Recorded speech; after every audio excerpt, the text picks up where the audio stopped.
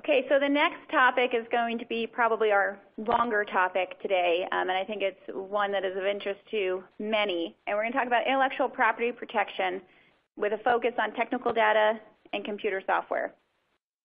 So under government contracting rules, the FAR and the DFAR really break intellectual property into three main categories, patents and inventions, technical data, and computer software. Uh, the rules also address copyright protection.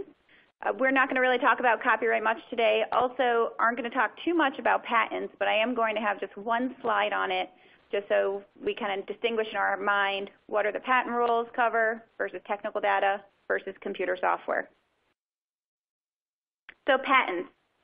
The rules in government contracts governing patents are based on the Bayh-Dole Act, which is federal legislation. Uh, in terms of the FAR, the clause is 52.227-11, patent rights ownership by the contractor. This is a clause that would be in your contract if you're a domestic contractor. If you are a foreign contractor, you might have the Dash 13 clause in there, which basically has different rules about who defaults to having title in subject invention. So what does this clause say? This clause says that if you have a subject invention, the contractor has the right to retain title in the subject invention, but the government receives a broad license to practice the invention for government purposes. Well, what is a subject invention? A subject invention is an invention that is first conceived or first actually reduced to practice in the performance of a government, government contract. Notice there is an or there. First conceived or first actually reduced to practice. So if you conceive an idea and the government gives you funds to reduce that idea to practice, and that's the first time that you actually reduce to practice, that's a working model of that invention has been created, it is a subject invention. If you conceive of the idea for an invention in performance of a government contract, but then later first actually reduce it to practice with your own private funds, it is still a subject invention. So it's an or, not an and. It's important to keep in mind that it is actual reduction to practice. Under patent law, I'm not a patent lawyer, but under patent law there's a concept of constructive reduction to practice, which is if you file a provisional patent application, that is enough to constructively reduce it to practice for some patent rules. It is not enough for government contract rules. So filing a provisional patent application alone is not actual reduction of practice. Again, it's more creating some form of a working model.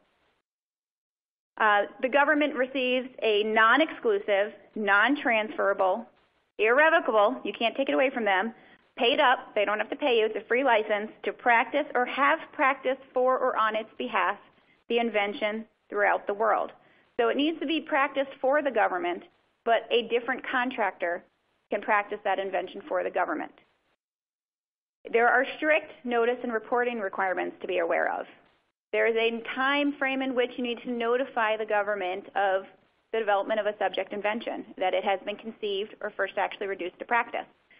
Um, there is also a time frame for when you have to elect to retain title, either in the U.S. or any other country, and a time frame in which you tell the government where you are filing patent applications. Why are there all these strict rules? Because if you as a contractor decide, you know what, there's this invention, I don't really care about it. I'm not going to patent it. I'm not going to go through all these. I'm, it's just, I'm not interested. Well, the government might be interested. So if you do not notify the government and give them the ability to protect themselves, the government will not be happy. What's the result? If you do not timely notify the government of the existence of a subject invention, the government can revoke your title they could also decide not to give you a license at all, which means you cannot practice that invention. So there, there's some strict rules. You, you know, usually for some first-time offenders, the government doesn't get that strict about it. Um. Best bet is if you're now going back after this and you're saying, oh no, I have these subject inventions. I don't think we've disclosed it. Do a mea culpa. Uh, the government, once they learn that there was a subject invention that was not timely disclosed, they have 60 days to decide whether or not they want to take title. And after that 60 days, you're, you're back in the clear. So again, you're, you're going to want to probably put them on notice, look at your portfolio. Uh, also, if it is a subject invention, in the patent application you file, you need to actually have some specific language that this invention was developed with government funding support. Uh, it's interesting that a lot of clients might put that in the patent application, but they don't make the disclosure to the government. And putting it in the patent application alone is not enough to, for this disclosure. It actually needs to be a disclosure to the contracting officer. Um, it's best to implement in your patent and invention policies and procedures. All it takes is a checkbox. Was this invention conceived or reduced to practice in the performance of a government contract, yes or no? And if the answer is yes, based on what your inventor thinks, you look into it further. Um, the, I wanted to also mention that the Department of Energy has some different rules when it comes to patents. They actually default for a large business to DOE owning the invention and the contractor getting a license. Um, you can get a waiver of that either on a specific basis or a class waiver basis. So it's something that you'll want to be aware of if you're contracting with DOE. Again, I'm not going to get into it into too much detail today. I think that was probably more than I planned to. Um, so the next topic then is technical data. And I'm going to talk about technical data in terms of and, and computer software, both in the context of non-commercial item contracts and goods and serve and products and commercial item.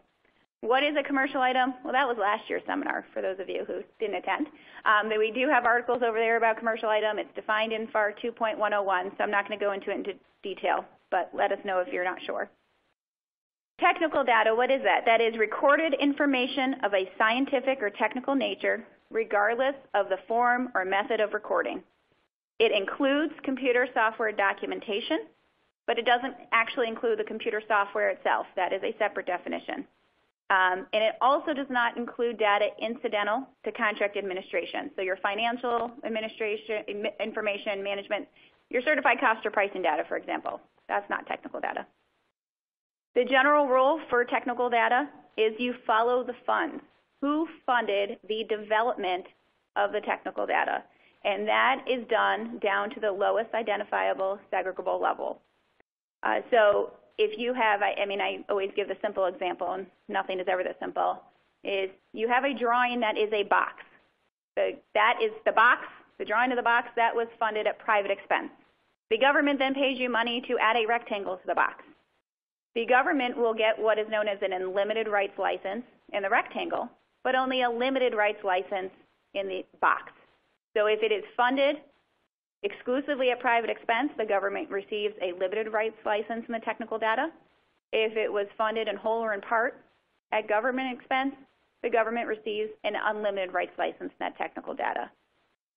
What is a limited rights license?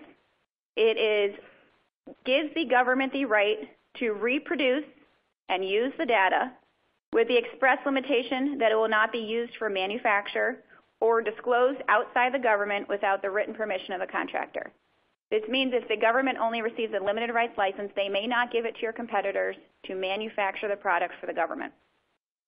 An unlimited rights license, on the other hand, gives the government the right to use, disclose, reproduce, prepare derivative works, distribute copies to the public, perform publicly, display publicly in any manner, for any purpose, and to have and permit others to do so.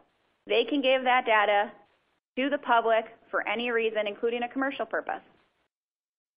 They could give it in response to a Freedom of Information Act request. So it's, it's out there. Uh, the government only gets rights, though, in what is actually delivered to the government. Although they have theoretical rights in, in any technical data that they fund the development of, in practicality, they only get rights in what is delivered. So that tells you that you really need to be careful about looking at your contracts and identifying what are the technical data deliverables that we are going to be required to provide to the government. So in addition to that data that was developed in whole or in part at government expense, the government gets unlimited rights in other categories of technical data as well. Manuals or instructional and training material that you need for installation, operation, or routine maintenance and repair for goods that are delivered under the contract. So if you need to give the government certain manuals, again, they could put that up on, their, on a website. Form, fit, and function data. We'll be talking about form, fit, and function data a lot today It is defined in the FAR as data relating to items, components, or processes that are sufficient to enable physical and functional interchangeability. It talks it's about source, size, configuration. I mean, it's basically, you know, if you go back to my example of the box, right, and the rectangle, and maybe the rectangle is really what you use to connect it to other products. Um, but inside that box, there's an intricate computer working system with a bunch of uh, components and parts. Maybe the government gets the drawing of the box and the rectangle, but they don't get the drawing of everything that's inside the box. So the form, fit, and function data would be, they get an unlimited rights license in that regardless of how it was funded. Even if it was developed exclusively at private expense, they still get an unlimited rights license in that form, fit, and function data. Also, if you deliver data to the government and you do not mark it, and you do not mark it in accordance with the exact legend that is prescribed by the FAR or DFAR, then the government gets an unlimited rights license in it. So going back to unlimited rights license produced to your competitors in response to the Freedom of Information Act because one of your employees forgot to mark it. I think everyone's a little concerned right now. Uh, Department of Defense has their own rules in that they have another category of rights. It's government purpose rights. So if there is mixed funding, so it's funded both at government and private expense, mixed funding, then the government gets government purpose rights in that technical data, which means that for a specific period of time, uh, usually five years, but it's negotiable, the government can use that data for government purposes only, including for manufacture. After that period expires, the government then receives an unlimited rights license in that technical data. Well, how does this help the contractors? It helps you because for that five-year period or however long it is, you get to commercialize the technology. So for commercial purposes, you get to use it. Uh, the government may not disclose it to competitors or third parties for commercial purposes. I have listed here the technical data FAR and DFAR clauses that you are likely to see in your contract. Commercial items. If you are selling the government a commercial item, and again, let me distinguish too, you may have a commercial item contract that requires you to develop some new technical data for the government. Just because it's related to a commercial item doesn't mean that the commercial item rules apply. You may have both the commercial item and non-commercial item technical data clauses in your contract, where the non-commercial item ones would apply to any data and development that's funded by the government, and the commercial item ones apply to any pre-existing data that applies to a commercial item. So under the, there's no FAR clause uh, for commercial item technical data. In FAR 12.211, it provides that the government shall acquire only the technical data and rights in that data customarily provided to the public with a specific commercial item or process. So when you go to the store and you go buy uh, uh, I don't know, hammer from Home Depot or, or something that has an instruction manual in it, that is the type of information that you provide to the public with a commercial item. You would provide that same information to the government. And whatever license the public has with respect to that manual, it's the same license that the government would get. Under the DFAR, there is a technical data clause for commercial items, and it says that the government receives unrestricted rights for itself and others in form, fit, and function data, no different than what the FAR said. Uh, correction or changes to technical data that's furnished by the government. Information, again, that's necessary for maintenance, installation, operation, repair, um, or that's been provided to the government without restriction under a prior contract. This is where consistency is important. If you've already given the government unlimited rights and data, you can't then come back in your next contract and say, government, you only get limited rights or you get my commercial license. They already have it. And when you give the government rights under a Department of Defense contract for one specific agency, maybe it's Defense Logistics Agency, guess what? All of the government has a license rights. This is where government likes to be big government with a big G. Um, a license to the government under one contract gives the entire government the license rights. Now, it's good for us. The government is not very organized. They don't quite have a repository of these are the technical data that we have, these kinds of rights in, these kind of rights in, and they don't share it across the board. They're, very disorganized. But when it comes up is when all of a sudden you see a solicitation issued on FedBiz Ops, and there's your drawing on FedBiz Ops for somebody else to manufacture. And that's when typically the disputes arise where you say, wait a second, government, you didn't have the right to disclose that. That's ours. It's proprietary. But by the way, it's already out there. That's also assuming that you know because it's on Fed, FedBiz Ops. What if you don't? What if you have a spare part that they gave your drawings to another manufacturer to, to manufacture. Well, now you have competition. The government likes competition, but you don't think the government had the right to do that and you see that they're doing that, that's when um, these issues come to light. Um, when you have technical data that you're delivering pursuant pertaining to a commercial item, the government may not use that to manufacture additional quantities of the commercial item, and they may not release it outside of the government without the contractor's consent. Very similar to the limited rights license, uh, but again, under the FAR, you can give the government your standard commercial license. So then we move on to computer software for non-commercial items. Uh, same standard as with technical data. It's a follow the funds test. Who developed the software?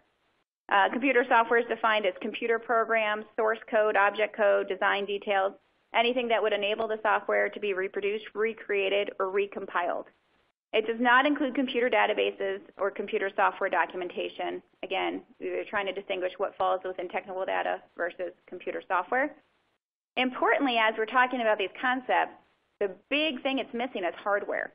So people get very nervous because they say, well, I'm delivering this to the government and I'm delivering them my engine and they're going to get all these technical data rights.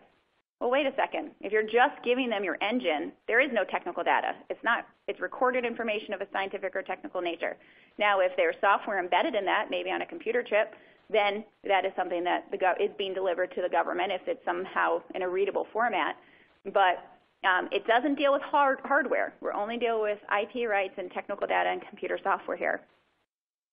So for software you develop, uh, again, you identify down to the lowest practicable segregable level. Um, the government gets restricted rights in computer software developed exclusively at private expense.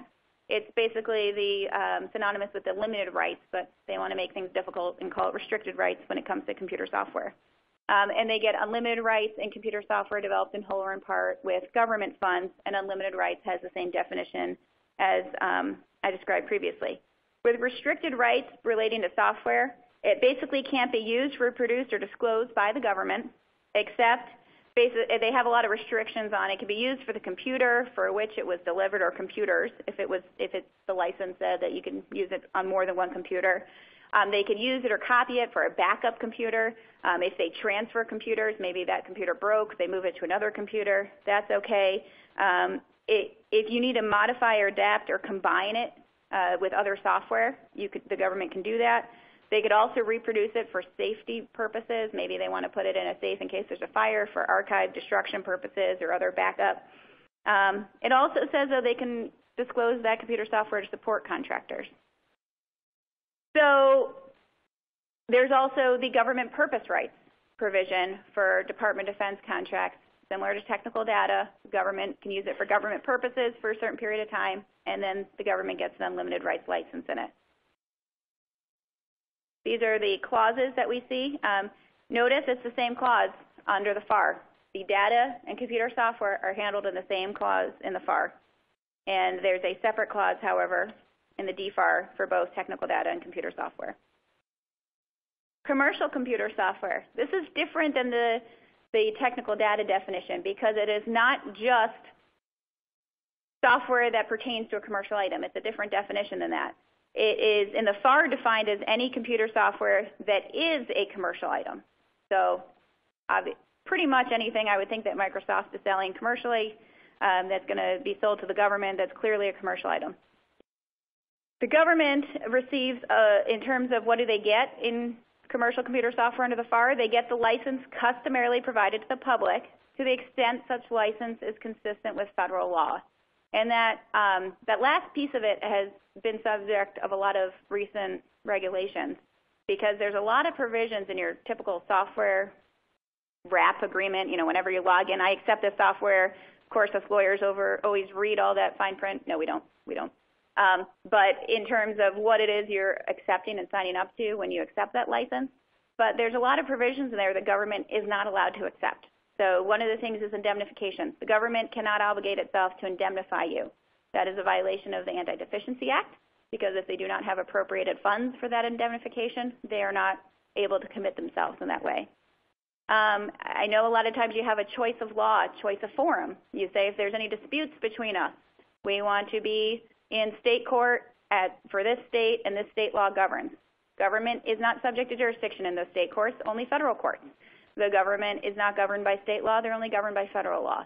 So it is best to have a different version of your computer software license, that's your standard commercial computer software license, adaptable for the government. And, and I could go on.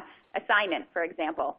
Um, you cannot assign a government contract without government consent pursuant to the Anti-Assignment Act. So when you have the provision, oh, we could freely assign this whenever we want, nope, you can't. So rather than have the government come back in and tell you uh, that we reject your license or have certain kind of gap fillers come into play based on federal law, it's best either to just create an addendum, which we've done for clients, or just a whole other version that applies to the government. Under the DFAR, there's a different definition for commercial computer software, and it's software which is developed or regularly used for non-governmental purposes, which has been sold, leased, or licensed to the public, has been offered for sale, lease, or license to the public, or has not been offered, sold, leased, or licensed to the public, but will be available for commercial sale, lease, or license in time to satisfy the delivery requirements of the contract, or satisfies one of those criterion but would require only minor modification to meet the requirements of the contract. This is also an area where it, if you look at that definition of commercial computer software, it does not look at who funded the development of it. If the government funds the development of that commercial computer software, and then you sell it commercially, hmm, it is regularly used for non-governmental purposes. It's been sold, leased, or licensed to the public. Look, you fall within the definition of commercial computer software. And guess what? You can then charge the government your standard commercial price. So this is one of the areas where there's a lot of confusion. You'll get a, the government scratches their head about that. They sit there and say, "Oh my gosh, what are they talking about? We funded the development. How are we paying for this?" It is permissible. It becomes commercial computer software at that point. If software meets the definition of commercial computer software, again, there's no DFAR clause uh, that applies, and instead it's the st contractor standard commercial license. I've recently been seeing some contracts where it says that if your standard commercial license is not expressly incorporated in the contract as an addendum, then it, back, it defaults back to FAR 52227-14 under some non-DoD contracts. So it's very important that when you submit your proposal, you include your standard commercial software license so they know what it is, and that it's also then an addendum to the contract. Don't miss that key point.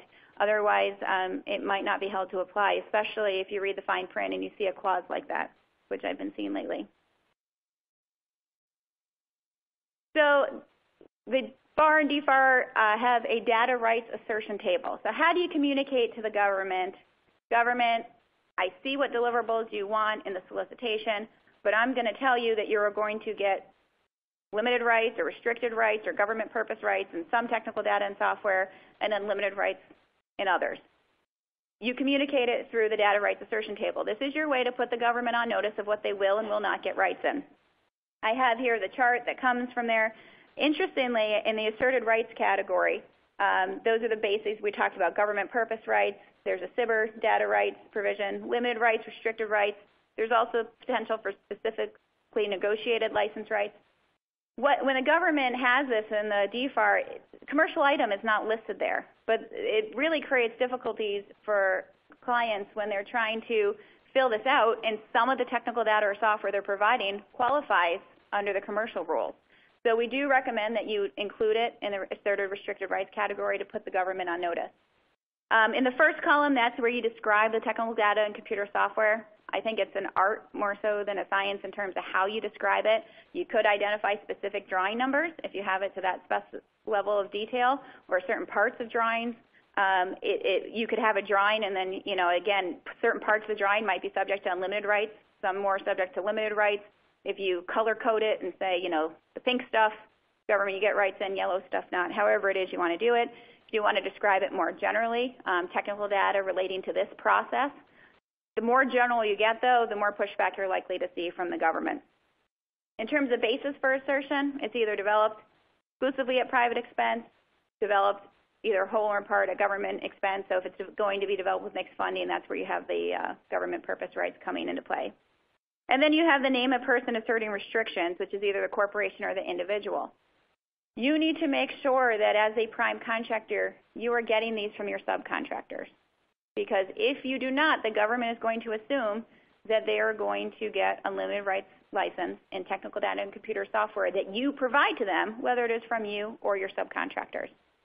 If you are a subcontractor who has to give data rights deliverables, offer this to the prime. You don't want to miss your window there. So if you have a teaming agreement, if you're submitting a proposal that you know is going to get rolled up into the prime proposal, make sure you at least put the prime on notice that you're going to have your own assertions. Um, I have on this next slide, when you're talking about commercial items, as I noticed there's that asterisk, here is kind of what you would want to put at the bottom of the chart. I'm really giving away free legal advice here, folks. Um, where you're basically saying, well, you're not required under the clause to disclose technical data and computer software relating to commercial items or processes. You are putting it out there to put them on notice um, that they will only get those rights that you give to the general public under your standard commercial licenses. Now we get to the marking requirements. As I mentioned, if you do not properly mark your technical data and computer software with the exact marking required by the FAR or the DFAR, the government will receive an unlimited rights license. Um, if you are now sitting here saying, oh no, we have not been marking, and marking confidential proprietary, that's not this marking. That is a non-conforming marking. It doesn't count. If you go back, you could, if you realize you delivered something to the government that didn't have the marking, um, you can go back to the government and request to pull back that technical data, properly mark it within six months of your delivery to the government of that technical data or computer software, uh, or whatever extension the government grants you out of the goodness of their heart. If um, the government has the right to challenge the legends for a variety of ways. First of all, as I mentioned, non-conforming. So they don't want to see confidential proprietary. The only thing you can include on there, if the government has an unlimited rights license, is you can include a copyright legend. That's permissible. And that somewhat serves to put third parties on notice of your rights in, in that drawing. Um, I know some contractors have two versions of the drawing, one that goes to the government and one that might go to the prime contractor, for example. Um, the prime contractor one does have all of those non-conforming markings to put the prime on notice of their restrictions on their ability to use the drawing, but the government doesn't want to see those markings. Um, in terms of uh, if there is a non-conforming marking, you'll see the government return the technical data or computer software to you. They'll give you 60 days to correct or strike it, or um, they do have the choice to ignore it if you decide not to take action, or they can go ahead and correct it or strike it themselves and charge you the money for it. Unjustified marking, so this is where if the government doesn't think you uh, should have a limited rights license, or that, that they should have limited rights, they think they have unlimited rights, they can then challenge those markings. They could challenge these asserted restrictions, and they're supposed to do it before they accept the technical data. So the government should be looking at this and monitoring it as they receive the technical data. But in any event, it must be challenged within three years after final payment or three years after delivery of the data, whichever is later. Well, we just talked about how final payment doesn't occur in cost reimbursement contracts until your final and direct rates are approved, which is now maybe 10 years down the road. So for some of these significant large development contracts that were done on a cost reimbursement basis, this is a bit of a problem. Um, and the government's not supposed to issue a challenge notice unless there's reasonable grounds to question the validity of the assertion. Not clear what reasonable grounds they really need to raise, um, but what they'll do is they'll send you a notice challenging it, and then you have an opportunity to respond, and there's uh, the FAR and DFAR layout a process for that. Beware of deferred ordering and delivery clauses. As I mentioned, the government only gets rights in what's actually delivered to them. So you now worked out your contract, you negotiated heavily on what the data and software deliverables are, and you're comfortable with the rights the government's going to get in those. But you didn't realize that one of these deferred ordering or data uh, delivery clauses are in there, and especially um, the additional data requirements clause under the FAR and the deferred ordering under the DFAR are particularly troublesome.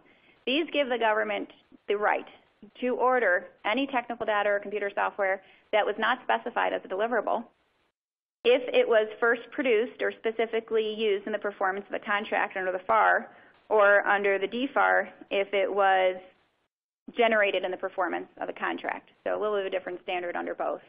But they can order it for up to three years after acceptance of all items or termination of the contract, in terms of um, subcontractors, this applies to you as well, and they run that time um, from the time the prime accepts the last item from the subcontractor.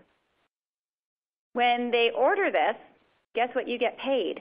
You get paid the cost to reproduce it. In this day and age, maybe it's emailed, maybe you photocopy the drawings, you transmit the software. That's really not much. It's cents on the dollar. Um, they are not paying you for your underlying intellectual property that is in that technical data and computer software. So beware of these clauses. The FAR clause is only supposed to be included in contracts that involve experimental, developmental research, or demonstration work unless all the requirements for data are believed to be known at the time of contracting and are specified in the contract. So if you see it in your contract, you might be able to go to that and say, look, government, you know what you want. It is clearly defined. It doesn't apply here. Um, but it also says they can include it in other contracts when considered appropriate, which gives the contracting officers a lot of leeway to include it. For the uh, DFAR clauses, the deferred ordering clause is can be included when there, a firm requirement for a particular data item has not been established prior to award, but there's a potential need for the data. Again, it, it seems very broad as to when the government can include these clauses um, and not only do they not compensate you for that data, but there's also the record keeping requirement that you need to keep this data so in case the government requests it, and again, you don't know what it is, but if there's something related to the contract that you might have developed or used that the government might possibly want, three years after final payment, you need to be able to give it to the government. Well, why do we like commercial item contracts? Well, we talked about the challenges, right? And when the government comes in and challenges whether or not they have unlimited rights or limited rights in technical data or computer software, you're looking at who funded the development. And once the government raises the challenge, the onus for non-commercial item, technical data and software, is on the contractor to demonstrate it was developed exclusively at private expense. So you need to find those uh, engineer timesheets and match it up to the time the drawings were developed and show that there was no government funding involved the onus is on you as a contractor. And most, most contractors have a very difficult time improving that up. For a commercial item contract and commercial item technical data and computer software, there is a presumption that the item was developed exclusively at private expense. So the burden of proof goes back to the government to show that it was not developed at private expense, that the government funded the development of that. So that puts the onus on the government to use their records to prove that. Um, this presumption, reverse in presumption, I guess, does not apply to Department of Defense acquisitions of major systems. Now we'll talk about a change in that. It's now major weapon systems. Um, and, but it does apply to major systems or subsystems or components that are COTS items. So there's an exception to the exception to the exception. It all gets very confusing. Um, but COTS items uh, still have that presumption. When I say COTS, commercially available, off-the-shelf item. There's also relaxed marking requirements. If you don't have the restricted rights and limited rights legends, there's actually no legend. The FAR and DFAR do not prescribe what legend to include on technical data or uh, commercial computer software or technical data for commercial items. So you don't have to have those two sets of drawings that you're maintaining. You can have one set that you use for both the government and commercial purposes. And again, you have the ability to negotiate those standard commercial licenses, which probably have a lot more clarity to them than the vague uh, restricted rights, limited rights licenses that are in the FAR.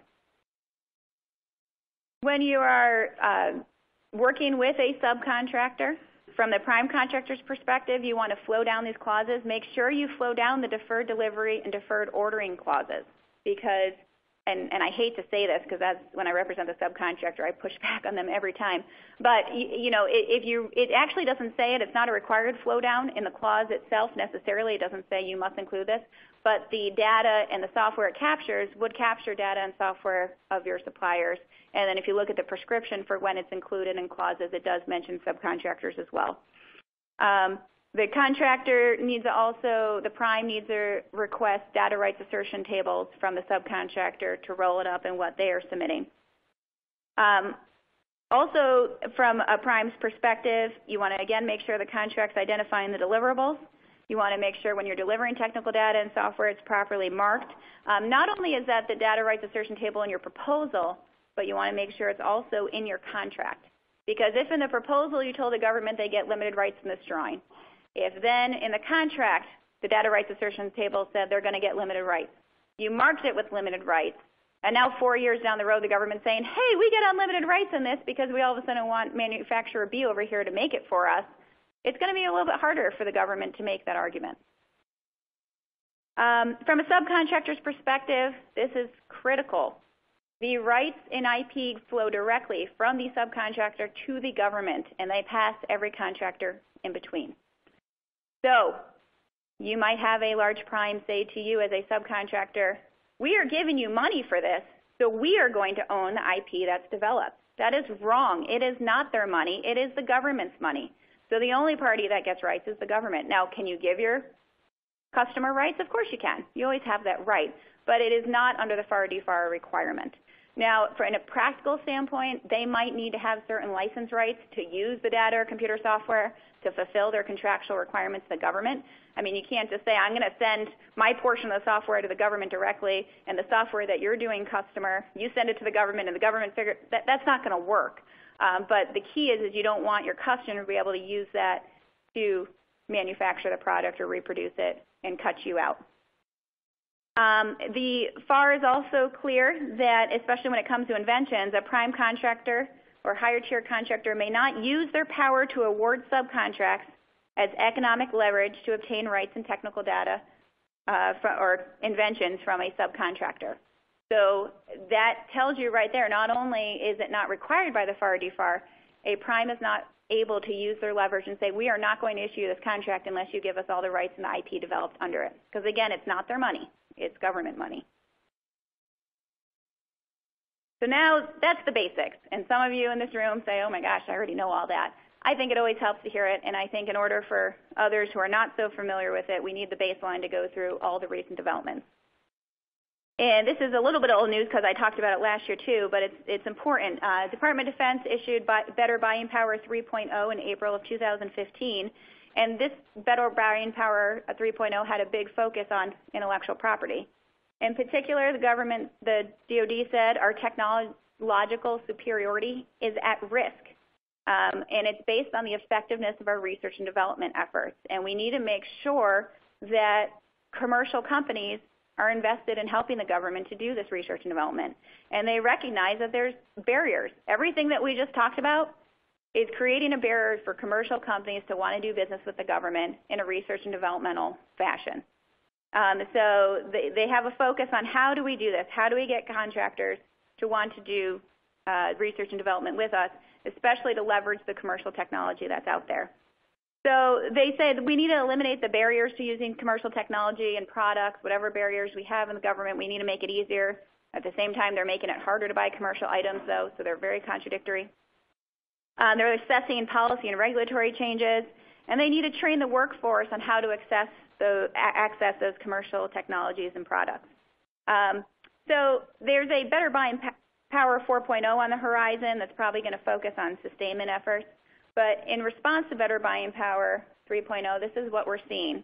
Uh, Department of Defense is issuing solicitations that kind of have two tracks, where they say, give us the price for your technical data package with whatever restrictions you're putting on it, and give us another price for that technical data package where we get unlimited rights license to use it.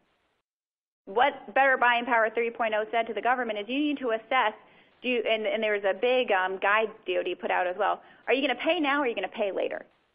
So right now you can pay to get that technical data package and you can ensure you have competition in the marketplace for sustainment efforts and when you need spare parts. Or you can pay later because you're going to pay in sole source procurement, right? If you only have one source who can manufacture something because they're the only ones who have the IP rights, then the government is beholden to them and has to pay whatever it is they're going to charge for it. So each time the government's doing a procurement, they need to assess what data rights do we need and what do we include in the solicitation and what are we willing to pay to get those data rights.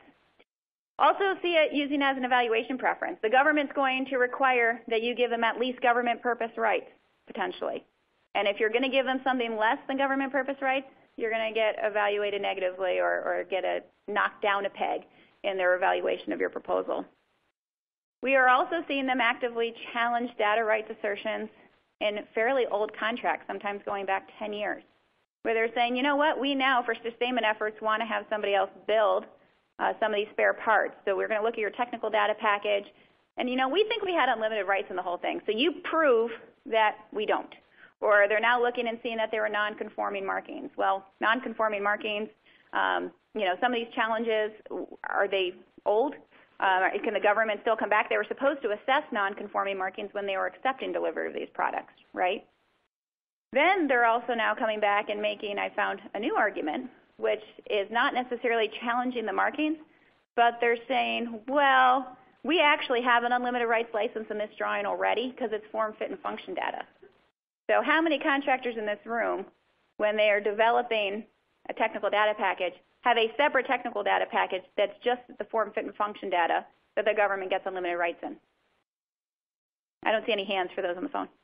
Um, you know, it, it, it is a good practice because, again, the government gets unlimited rights data in that, and I don't think traditionally contractors have been focused on that point and been focused on what is form, fit, and function data. But if you have two sets of drawings, government, here's your form, fit, and function set, and we acknowledge government, you get unlimited rights in this set, but this is a full set, and we have our proper limited rights, restricted rights, whatever it is, legends on here.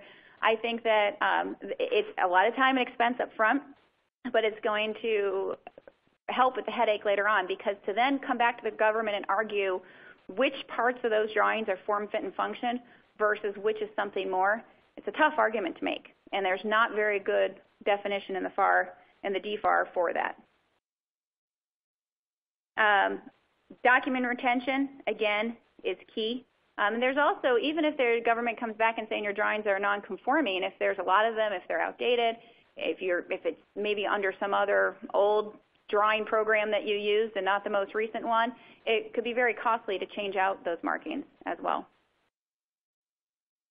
Uh, there's also uh, been uh, some final DFAR rules. Again, the final rules are already in effect and they already apply versus some proposed rules we'll talk about which we hope never become final rules. Uh, the first final rule is the presumption, um, as we talked about, is that for a commercial item, for technical data, it's a presumption that the commercial item was developed entirely at private expense and the technical data attendant to it um, was developed at private expense. The, I mentioned a major systems rule that reversed that presumption except for a COTS items.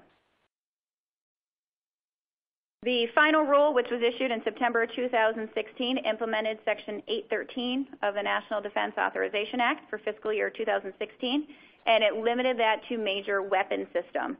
A weapon system is defined in the DFAR as uh, something that's acquired pursuant to a major defense acquisition program. So where I say the major weapon system is not defined, it wasn't defined in the rule, but it is in the DFAR. Um, the COTS exemption was also expanded. Um, it was expanded to include a commercial subsystem or component of a major weapon, weapon system if the major weapon system was acquired as a commercial item um, or if the component of the subsystem, if the subsystem was acquired as a commercial item, and then they have some other um, exceptions here. So COTS is traditionally just commercially available off the shelf. It is the exact same form you sell it commercially with no modifications for the government. Very strict. And this opens it up to some forms of commercial items as well to, again, regain that presumption. So this was a good move for contractors. It helps in terms of expanding that presumption. It limits the exceptions to the presumption and um, expands the exception to the exception, as confusing as that gets. Uh, there's a proposed DFAR rule looking at the um, probably response to Better Buying Power 3.0 and the need to encourage commercial advancement, technology, government working with industry together on research and development, um, that for annual independent research and development, IR&D costs to be allowable under a cost reimbursement contract, um, you need to now communicate with the Department of Defense about what those IR&D efforts will be. And you actually need to communicate it through an online tool, which is the Defense Technical Information Center. You need to share the results of the, the, the, investment with appropriate Department of Defense personnel at least annually and when the project is completed. Uh, you need to give copies of any inputs and updates to the ACO and DCAA to support the allowability of those costs. Major contractors also must engage in a technical interchange with a technical or operational DoD government employee before IR&D costs are generated, before they are generated. um, and use the online input form to document that the technical interchange occurred. A major contractor is defined in the DFAR as one whose covered segments allocated more than $11 million in IR&D or bid and proposal costs to covered contracts during the preceding fiscal year. So what does this all mean? This means that you now, in order to have these costs be allowable, you need to communicate with the government about what those research and development efforts are. Well, we talked about government is subject to FOIA, right? Freedom of Information Act. What about everything going in the Defense Technical Information Center that you have to input? How is that going to be protected? Um, it's, it's very unclear. It doesn't have any protocols in place to make sure this DoD personnel is protecting this information. Um, the fact that this is now a question of allowability of cost, whether or not you shared it with the government in advance, again, this brings into the question the DCAA auditors. Are they, do they really in a position to know the research and development you did versus how you communicated it to the DoD. Is it the same? Was it sufficient? Um, and uh, it doesn't talk about what happens if there was a government breach of confidentiality of contractor information. So that's a proposed rule, not yet in effect yet. Uh, another proposed rule, uh, this is a very important one. It implements Section 815 of the National Defense Authorization Act for fiscal year 2012. And this is just proposed rule issued in June of 2016. So you can see how long it takes for the government to kind of get around to implement regulations.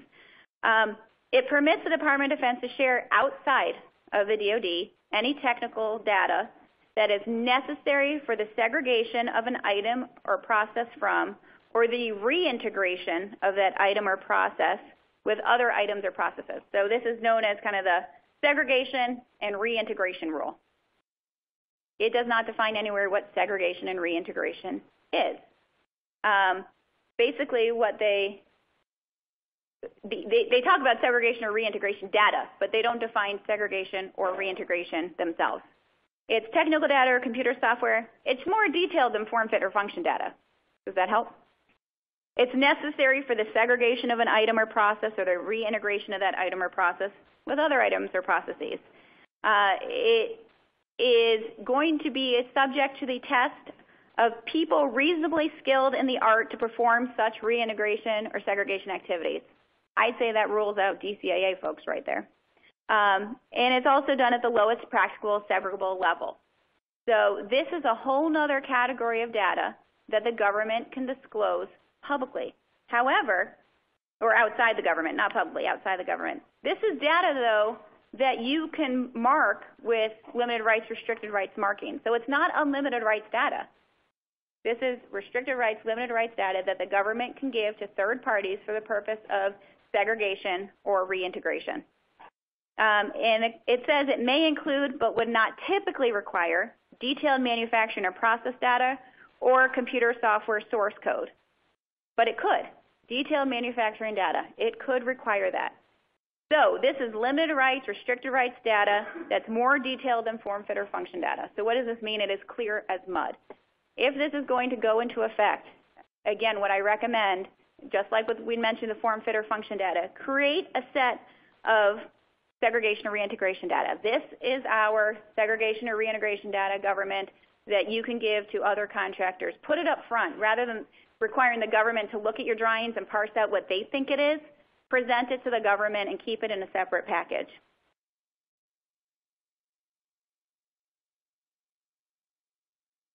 Uh, this data can be marked with the restricted rights, limited rights markings because that's, you know, if, if it applies. Um, and when it's given to another contractor, it can only be used for the purposes of segregation or reintegration. Uh, the owner must be notified. So you as a contractor, they need to tell you that they're releasing it and uh, whoever receives it must later destroy the data. But I always have heartburn with this because how do you unknow something? How do you then say to your competitor, I know you use it for this purpose, but pretend you never saw how we were manufacturing that product. Don't use that in your processes. Don't implement anything. It's very hard to unknow what you already know. And it doesn't specify in the rule what protections are provided to the contractor if that third party improperly uses their IP. It gets even better what this proposed rule does. It expands the government's deferred ordering rights. So before we talked about how it, for the DFAR, it is data and computer software that was generated in the performance of the contract. That is what the government can order. Now it would be, if, if this gets passed, generated or utilized in contract performance. Utilized. So they, if you utilized it in your contract performance, they could order it under the deferred ordering clause, regardless of whether that's your crown jewel of IP. Um, and, and they have to kind of meet some characteristics in order to um, satisfy these standards. It needs to be important for sustainment or other life cycle activity. I think that's a fairly low standard because I think the government can make the argument a lot of things are important for that. Um, there's also, uh, when you get compensated, it's only for the cost, again, of converting that data into the form that the government needs. So it also changes the time limit. We talked about there's a three-year time limit. They're going to take away that time limit. So now, indefinitely, the government can come back under this deferred ordering clause, order anything that you utilize in the performance of the contract, and require you to deliver it to the government. Think about that record-keeping requirement and how difficult it is to comply with that.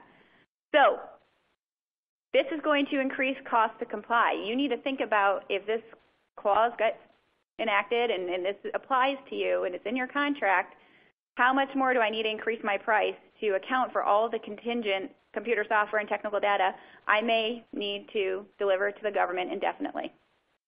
Really what it comes down to. So hopefully there's some significant changes in this. Um, uh, also, the rule extends the term for the government to challenge your data rights assertions from three to six years. Like I said, it's getting better. Um, and if there's a fraudulently asserted restriction, there's no time limit. So, in sum, we have seen the Department of Defense in particular has an increased focus on its technical data and computer software rights. I have to admit, for a long time now, contractors have gotten away with, sure, government, I have my key technology and you can give me millions of dollars to fund the development of this part of it, but because you don't have any rights in the base technology, you still have to come back to me for the next 30 years for the manufacture of this part. It's been great. Uh, the government's realized it's not worked out too well for them, and they created this structure, right? They're the ones who issue the regulations, and it's not working in their favor because they were paying a lot of money in sustainment costs and in spare parts.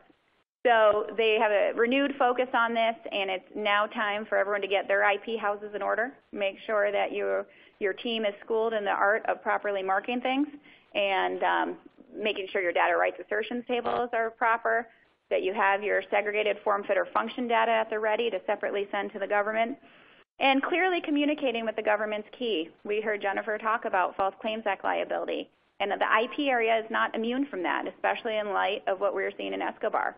You don't want to have an implied certification claim because you are delivering the government technical data with limited rights markings that you know they uh, funded the development of, right? We can have some issues there. So if you clearly communicate it to the government in your proposal, they're going to get limited rights. It's in the contract. I think it's hard for them to say they didn't know about it and weren't put on notice of what, at least how you interpreted the funding obligations. So before we get to the questions and answers, I have one more code for those on the phone. Uh, this next code is U2O as an orange, 7K. That's U as an up, 2, O as an orange, 7, K as in kangaroo. Okay, so now we can go to questions. You all want to eat, don't you? Yes.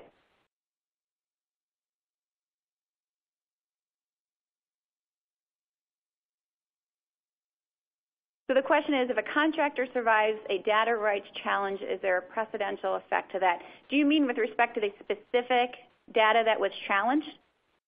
I, I would think the government, again, because it's government, Big G, would have a hard time if they came, if you succeeded in proving it was developed at private expenses, the government would come back to you and, and go down that path again.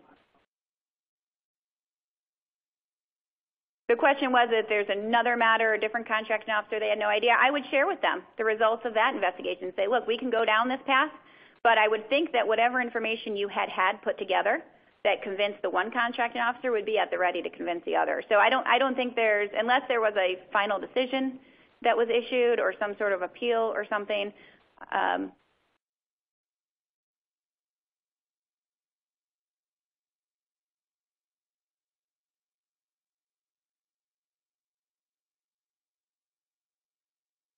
The question is, can you have the contract and note that there was a data rights challenge and it survived the challenge?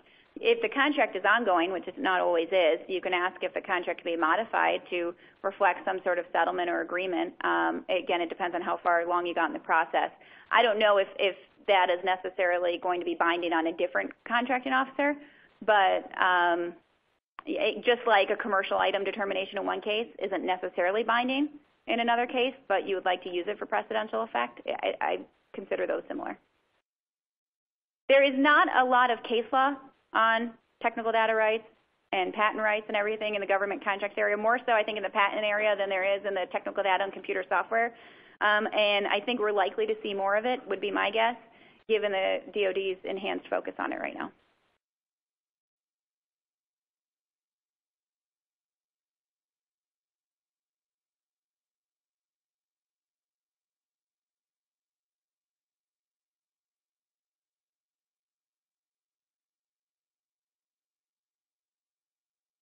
Sure. The question is if you have technical data or computer software developed with IR&D funding, what is the data rights assertion for that? Is it private expense or others? And it's funny because I, I was hoping you'd ask that. I almost like we planted that question. Um, the answer is it's developed at private expense. So it's not mixed funding. If it is done through your indirect pool through IR&D, even though some of that is government funds, right? Especially let's say 50% of your work is government contracts, maybe 50% of that IR&D pool is technically funded by the government, it's still considered developed exclusively at private expense. Yes, in the back.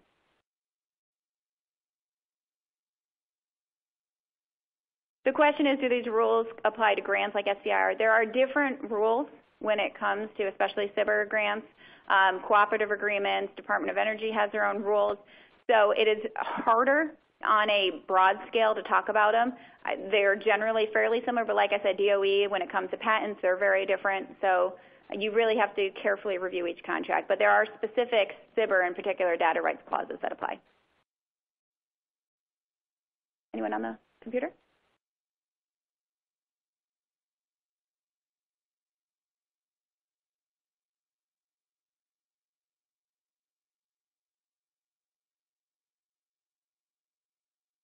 Okay, so the question is, what happens, basically the interplay of the FAR and the DFAR clauses if there's government purpose rights? And the answer is you shouldn't have both clauses in your contract.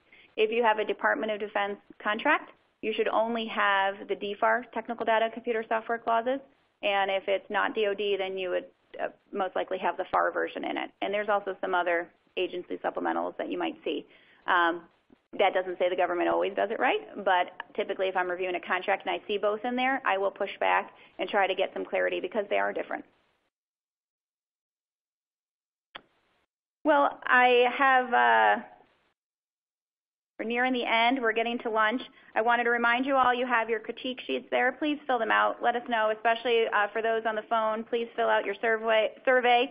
I want to know if this format's good. I know three hours is a bit long for a webinar, so for those of you who are still on the line, I appreciate you hanging in there. Um, I want to thank Jennifer for speaking today. I want to thank Anna for being at our computer and advancing our slides. And I especially want to thank Donna. Um, she helps us put this on every year. When you see her at the front, please thank her. She's put together the books, all the giveaways, um, and everything. So please make sure to thank her as you walk out. Uh, also, please make sure to take handouts. And then for the Foley attorneys in the room, can you stand up so I make sure I don't miss anyone? Uh, we have Jeff Kopp over there, labor employment attorney in Detroit. We have Kim O'Brien, government contracts attorney in Detroit. We have Miha Zomer, who is a government contracts attorney in our DC office. We have Steve Hilfinger, business law partner in our Detroit office.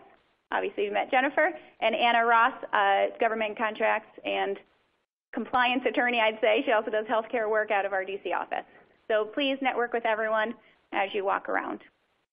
And uh, please stay for lunch. I look forward to talking to as many people as possible, and thank you for coming.